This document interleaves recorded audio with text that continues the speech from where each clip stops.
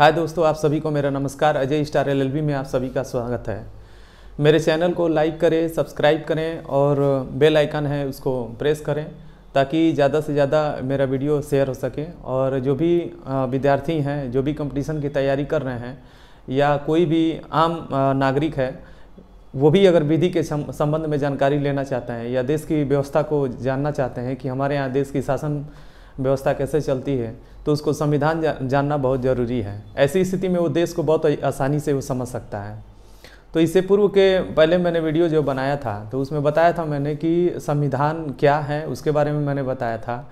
फिर उसके बाद बताया था कि संविधान की विशेषता क्या है और संविधान की प्रकृति क्या है इसके बारे में मैंने बताया था। आज का जो मेरा जो विषय है टॉपिक है आज हम लोग पहुँचेंगे कि भारतीय संविधान में जो है अ, कितने भागों में भारतीय संविधान को बांटा गया है अध्ययन की सुविधा की दृष्टि से।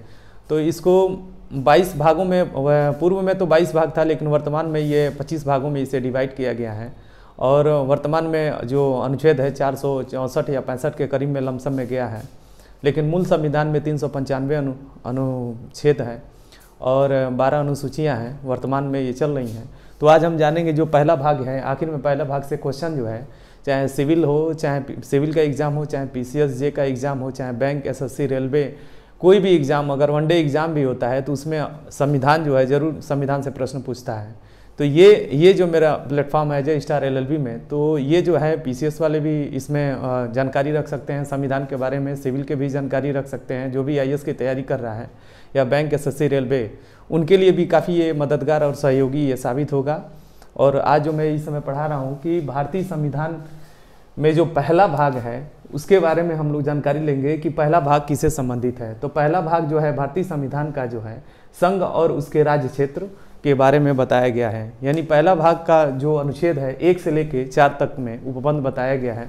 यानी दूसरा भाग जो है, आपका नागरिकता से संबंधित है। आपका जब भी पढ़ेंगे कि नागरिकता कैसे मिलती है और देश के नागरिक किसे माने जाते हैं, नागरिकता कैसे छीनी जाती है इसके बारे में आपको जानकारी होगी। तो पहले भाग के बारे में हम लोग स्पेशली ये जानने का प्रयास करेंगे कि कि भारत में ये जो संघ है, अनुच्छेद पहला यही करता है, संघ का नाम और उसके राज्य क्षेत्र। तो आप लोग जब भी आर्टिकल एक जब पढ़ते हैं तो वहाँ दो चीज़ें सामने आती है, भारत अर्थात इंडिया। भारत अर्थात इंडिया। यानी दो शब्दों को आपको, आप लोग देखेंगे वहाँ पे। यानी अनुच्छेद एक ही, ये अक्सर पूछता है एग्ज़ाम हाल में, जब भी आप सिविल का एग्ज़ाम दें या पीसीएस का तो ये पूछता है, भारत, यानी आर्टिकल एक में क्या कहा गया है? तो भारत अर्थात इंडिया राज्यों का संघ होगा। उसमें यही बातें कही गई हैं, भारत अर्थात इंडिया जो है राज्यों का संघ होगा। तो हमें सबसे पहले ये जानना होगा कि ये संघ बना किससे है? तो अनुच्छेद एक यही बताता है कि जो हमारा 28 राज्य है और वर्तमान में आठ केंद्र शासित प्रदेश हैं इन्हीं से मिलकर हमारा जो संघ जो है बना हुआ है। और जो भी संघ में शामिल है, वो संघ से बाहर भी नहीं जा सकता है। यानी ये भी प्रश्न फिर पूछता है कि भारत जो शब्द है, यानी भारत प्लस इंडिया यानी ये अनुच्छेद एक में कितनी बार इन शब्दों का प्रयोग किया गया है? ये एग्ज़ाम में अक्सर पूछता है पीसीएसजे का हो, चाहे आईएएस का हो, चाहे बैंक हो एसएससी हो, रेलवे हो, चाहे यूपी पुलिस हो, लेखपाल हो मतलब संविधान के बारे में अक्सर ये पूछता रहता है, अनुच्छेद एक का संबंध किसे है? यानी भारत का प्रयोग कितनी बार किया गया है? यानी ये सब तो ये अक्सर आप लोग बताइए, एग्ज़ाम में पूछेगा तो दो बार इसका प्रयोग किया गया है। यानी भारत अर्थात इंडिया, यानी दो बार शब्द आया है, भारत अर्थात इंडिया, राज्यों का संघ होगा और संघ से कोई अलग नहीं होगा। यानी जब हम ये जानते हैं कि जब दो बार ये शब्द प्रयोग कर दिया गया है तो एक बार इंग्लिश में किया गया, एक बार हिंदी में किया गया है और दूसरी बार इंग्लिश में किया गया है। यानी भारत को भी दर्शा रहा है और इंडिया को भी दर्शा रहा है। तो हमें ये जानना होगा कि आखिर में भारत को क्यों तब डिनोट कर रहा है तो वहाँ हमको ये जानना होगा कि जो भारत शब्द का जो प्रयोग किया गया है, जब भारत की हम संस्कृतियों की बात करते हैं तो इसीलिए हम वहाँ पे भारत शब्द का प्रयोग किए हैं और भारत को संबोधित करते हैं। जब हम राजनयिक संबंधों को स्थापित करते हैं अंतर्राष्ट्रीय स्तर पे जब अपनी हम पहचान बनाते हैं, ऐसी स्थिति में जो है, हम अपने भारत को जो है इंडिया के नाम से जानते हैं। इसीलिए यहाँ इंडिया शब्द का प्रयोग किया गया है। इसीलिए कहा गया है, भारत अर्थात इंडिया राज्यों का संघ होगा। यानी क्वेश्चन में आर्टिकल एक में ये बोलता है, भारत अर्थात इंडिया राज्यों का संघ होगा। ये कहाँ लिखा गया है? तो आर्टिकल में एमसीक्यू में आता है। तो एक पे आप लोग टिक लगाइएगा। भारत को कितनी बार संबोधित किया गया, एक बार, दो बार या तीन बार। तो यानी भारत एक बार कहा है, एक बार इंडिया शब्द का प्रयोग किया है।